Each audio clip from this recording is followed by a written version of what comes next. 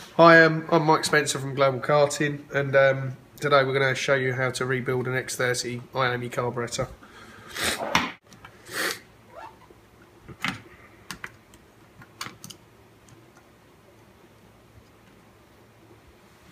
That's your carburetor top.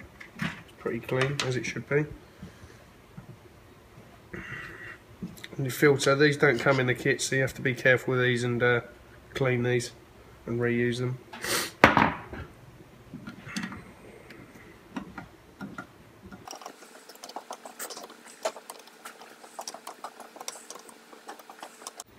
Also, while you're doing this, make sure all your lower your gaskets out that come in the kit. This is a kit that you use. You have to use a specific one, the RK6HW. Um, and this is a complete kit that comes with a needle and seat as well. The only parts you have to reuse are the filter that goes in the top and the spring that goes under the, the pedal.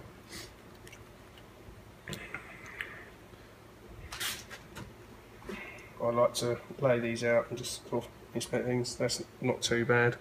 A little bit distorted. It's something most people overlook is rebuilding these quite often, which they should do, and they don't.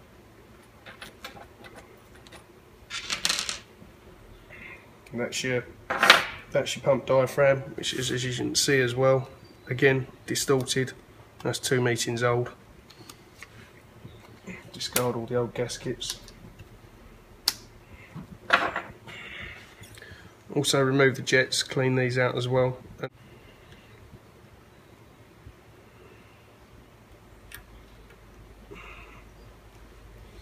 Your low jet.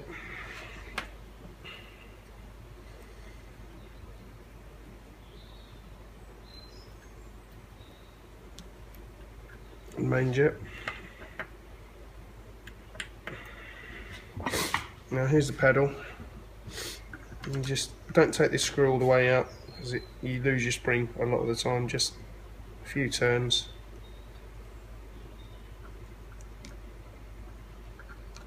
Push the bar out. There you have your spring, needle, pedal.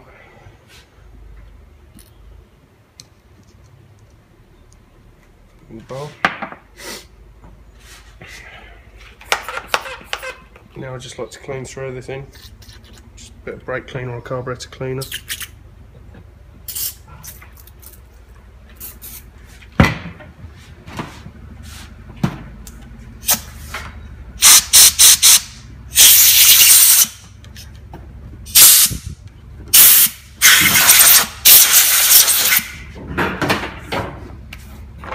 Same with these, just clean everything thoroughly, make sure there's no dust no grit or anything.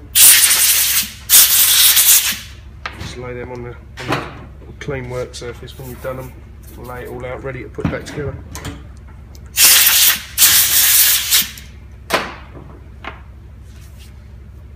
Like I say, I'm not gonna going to replace the needle and seat. That's the needle and seat there. Comes with a copper washer underneath, but generally I replace the needles quite regularly, but the seats they don't really wear out that fast. Clean that as well. Always make sure you use a fuel filter on the chassis or filter the fuel going into the tank with a, a paint straining filter or, or those water separating filters you can get. Right, we're going to start reassembling the carburetor now. Everything's clean, checked, new diaphragms and gaskets, um, jets are all clean, carburetor top's been blown out. Not that there was a lot in this one. Uh, we've got the spring that goes under the paddle goes in first. It just goes in that groove there. Then complete paddle and needle assembly. You can see that's not got a lot of wear on that. It was holding pressure fine, so there's no point in changing it.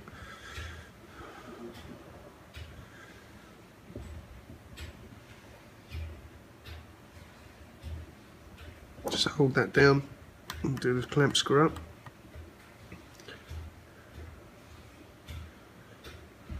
Just make sure that's fairly tight. That's okay. Then you've got the first diaphragm and the gasket goes underneath, so just so that sits on top of the paddle there. Make sure that locates nicely. And those three, just make sure that's pushed down so you don't get any creases when you clamp it together.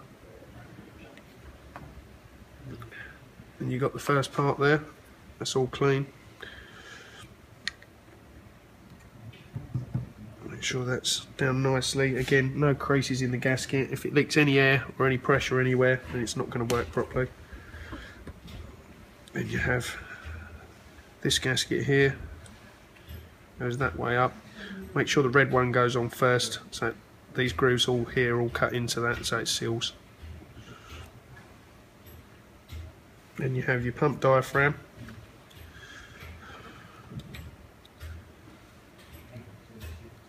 Goes there. And then the carburetor top.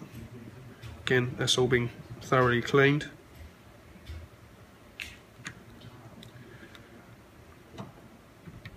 Again, just just keep checking, make sure there's no creases in any of the gaskets, otherwise you will just have to replace it again.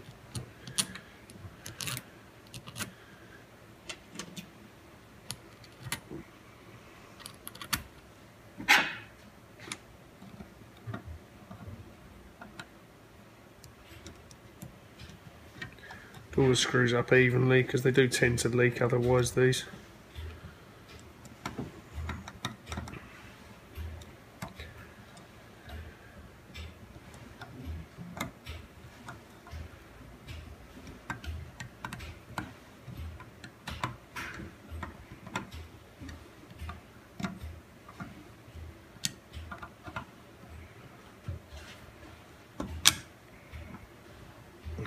Opposites. So again that all clamps down nice and level. We will check if there's any leaks at all when we're finished.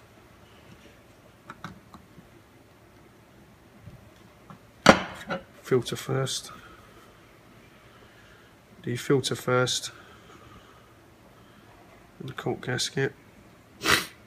And then just your plastic carb top a lot of people over tighten these and they just distort and again they just leak pressure. So just this literally needs to be nipped.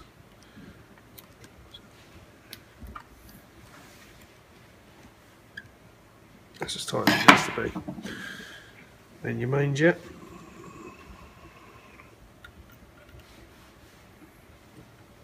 Just make sure the o-ring seats properly as you're putting the jet in. It goes into the groove. So again if that's leaking you won't be able to get your jet in right at all Yep, that's good.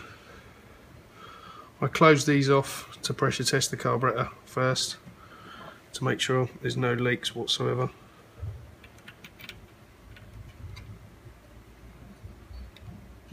Again, just shut them off for the minute. Those are the bits we're not using.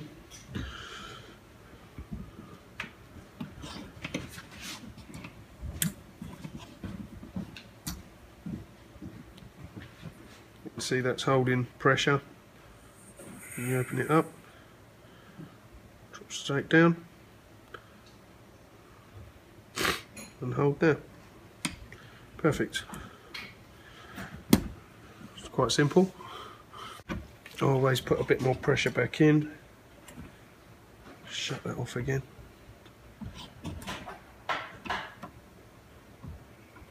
And then just check it with a bit of brake cleaner. See there's no air bubbles there anywhere. It's absolutely fine. And then set your jets and you're ready to go.